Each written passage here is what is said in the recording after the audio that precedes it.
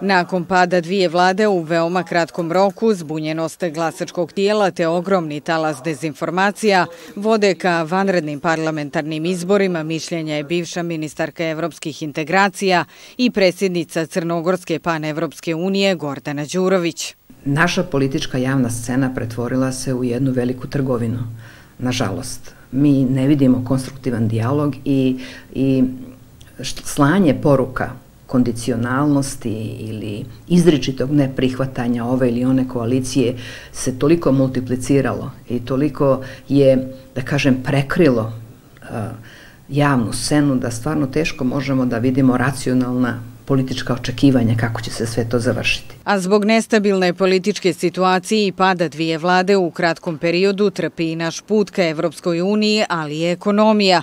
Đurović napominje da se povećava i rizik od ulaganja u našu zemlju. Ako pratimo samo na jedan indikator uh, vrijednosti eurobondova na frankfurtskoj berzi, vidimo da smo sa 100 za ovih godini po dana pali na 72 vrijednosti jedinice.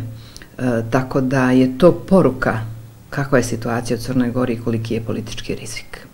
Nažalost. E, to se naravno odražava onda i potvrđuje da nama evropske integracije nisu u mandatu ove vlade sad koja je u tehničkom mandatu nisu bile prioritet, već da se nekako igrom slučaja prioriteti drugčije postavljaju kao recimo temeljni ugovor, popis ili pristupanje inicijativi Otvoreni Balkan umjesto onoga što je bila naša najveća obaveza krajem jula mjeseca, to je da se izabere makar jedan sudija Ustavnog suda, da bismo imali, da kažem, zaokružen e, pravno govoreći izborni proces, pa i lokalne izbore koji nas očekuju krajem oktobra. Poruke iz Evrope su uvijek prilično optimistične, ali sada već i upozoravajuće, kaže Đurović. Podsjeća da nas u oktobru čeka izvještaj Evropske komisije, a malo je vremena da ispunimo zadatke potpuno zaočekivati, jer ono što nismo završili u julu, samo smo još dodatno iskomplikovali u avgustu.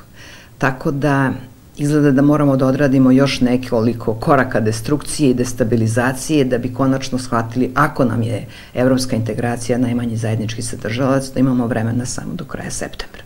Tada se definitivno zatvaraju inputi za godišnji izvještaj Evropske komisije na bazi koga se donose odluke da li će se išta za Crnu Goru otvoriti u decembru.